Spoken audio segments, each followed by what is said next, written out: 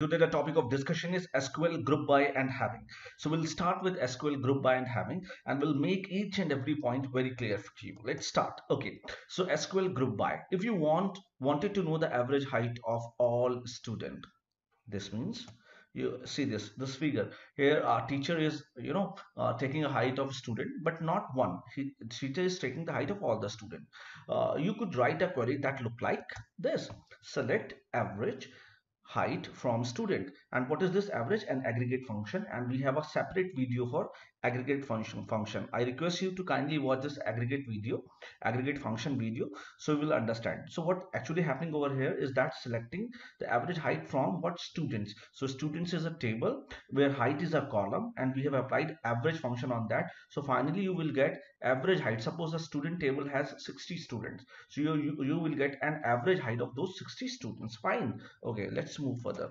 okay. But what if you wanted to know the average height of students based on their year in the school? Suppose now you want average height of class 5 class 6 class 7 class 8 9 and 10 what you do? With what with what you know right now you would have to write a number of different sql statement to accomplish this. So whatever you know right now you will do like that only. You will do like this.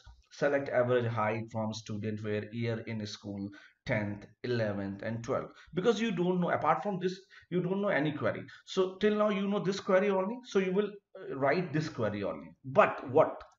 And so on whatever you do like this. To simplify the problem like this we just we with just one statement so with just one statement you can know apart from writing this three query or five query or suppose there are there are uh, class 1 to class 12 there are 12 sections so you need you need to write 12 of this query. But what if by using one query you can just do this?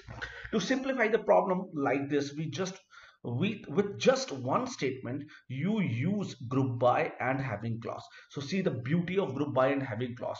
Without group by and having clause for 12 different classes I was using different 12 commands but with just group by we'll use only one command one query. Move further. You use the group by clause to divide the rows. We use group by clause to divide the rows in the table into smaller group. So what we'll do we'll simply divide the rows in smaller groups for example if i talk about registrar office every school has a registrar office every college has a registrar office. So what is registrar office having? The registrar office is having the data of all the students data of all the students. So we'll group by those students according to their classes. Fine according to their classes. Fine okay you can then use the group by function to return. Then you use group by function to return the summary information of each group. So finally you will uh, uh, return the summary information of every group. So hope you understand what i'm trying to tell you. Let's see. Okay. What what is the query? That select department id average salary from employees group by department id and order by department id this is very interesting this is very interesting query. So let me solve this query for you. There is a table called employees. And employees we have two columns. Suppose department id and average uh, uh, salary. There are two columns department id and salary. There are more than one department. There are actually more than one department. And in in every department there are variations in salary. But what my job is to find the average salary of all the department. Suppose i have department id 1 i have department id 2 i have department id 3 i have department id 4 and 5 where department id has 20 employees these has 20 employees these has 30 employees department 50 employees and these have uh, suppose 60 employees and all are getting different salaries. All are getting different salaries. Now my job is to get the average salary of every department. Now my job is to get the average salary of every department. So what i'll do i'll, I'll use group by so what am i doing is that select i'm selecting department id i'm selecting average salary from depart from employees. That is fine. But i'm grouping it according to department id so what it will do it will group all the employees of department 1 and after grouping what it will do it will find the average salary find After grouping, it will find the average salary. Let's see. I have a department. Um, uh, so the answer we are getting is that department ID 10 has average salary for 4400. Department ID 20 has an average salary this, 50 has this, and whatever, whatever, whatever. Fine. Let's move further. Now, in select statement shown, the rows are being grouped by department ID. Fine. So rows are grouped by department ID. This is what we actually, uh, I have already told you. So if I told you, if I told, I have already told you this. He, rows are getting grouped according to department ID.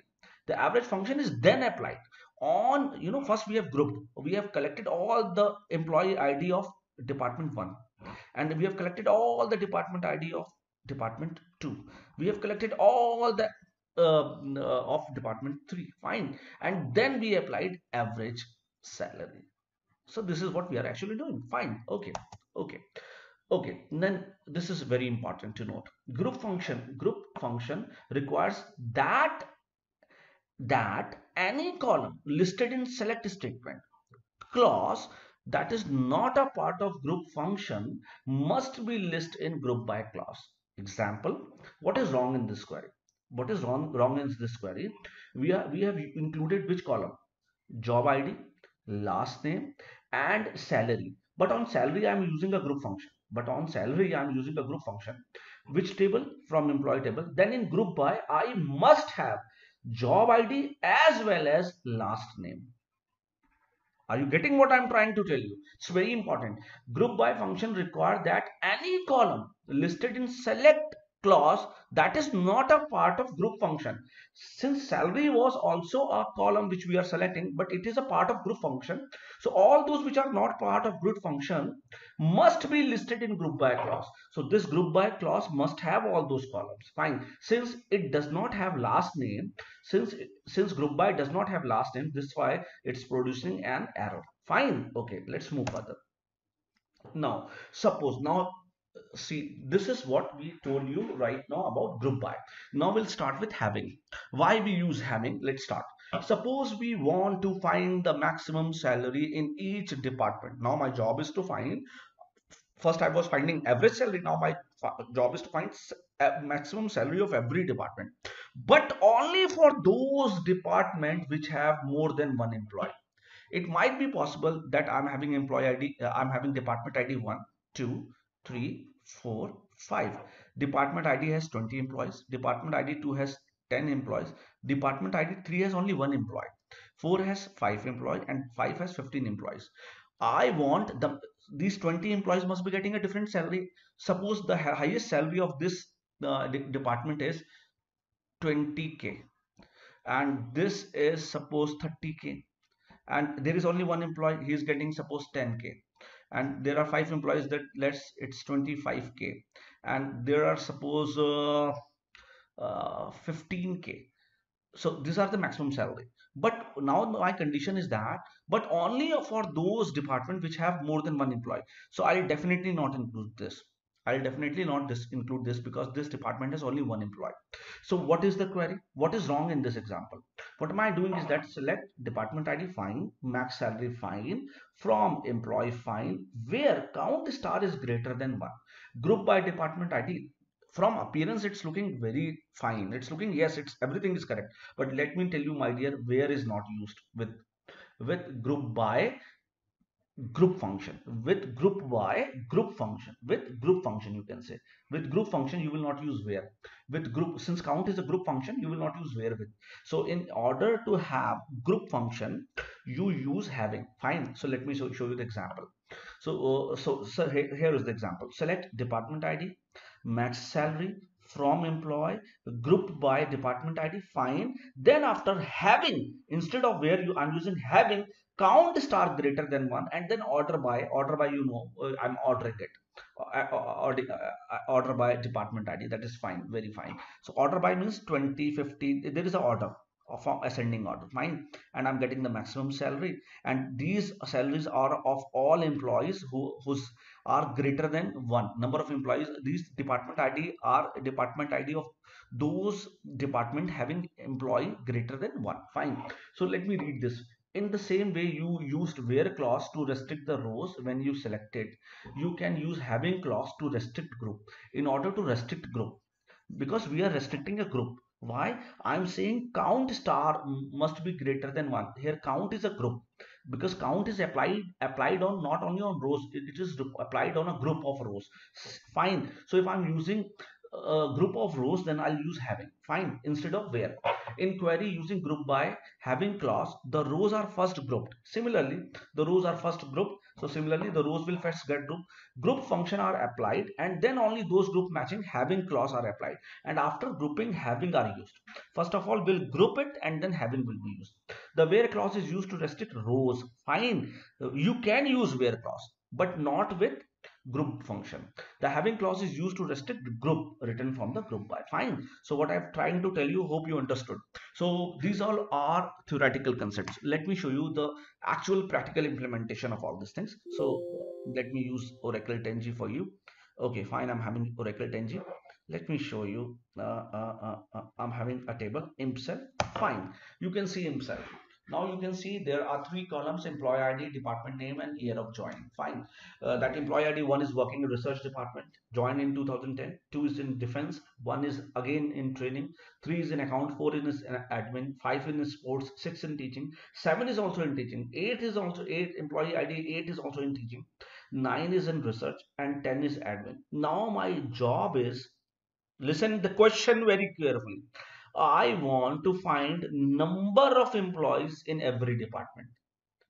I want number of employees that is how many employees are in research department how many are in defense how many are in teaching how many are in training. So I'll use this query this query. Select okay select fine count. Count is aggregate function. I'm counting what employee ID I'm counting what employee ID fine I have to count the employee IDs comma department name from which table himself table group by i need this group by on which department. Because according to department i want how many employees are working in that department. So again i told you if you use anything other than this group function uh, any column other than this group then you need that particular in group by.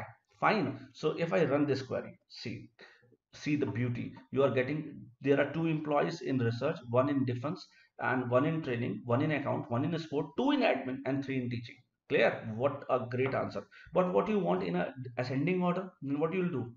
If you want the same thing in ascending order, you get after group by you write order by count EID, descending order. So if you write, write this, you get now in a descending fashion. You are getting the same answer, but in a descending order. Three in teaching, two in admin, two in research, and one in sports, and one in training, one in defense, and one in account. But what if i want only those department? Now see i'm using having. What if i want only those department having more than one employee? I want only those department. My job my question is tell me the number of employees in those department where number of employees in a department should be greater than one. So what i'll do here see this. What i'll do what i'll do is this is the query. What i'm doing is select count eid dname from himself group by dname fine. Having count eid are you getting? Eid should be greater than 1 or then then you use order by descending. Fine. So see now the answer. See the beauty. The answer you are getting is what? The answer you are getting is teaching has three employees. Three are greater than one. Research has two employees. Obviously two is greater than one. And admin is having two employees. So hope i have tried my level best to explain you everything very clearly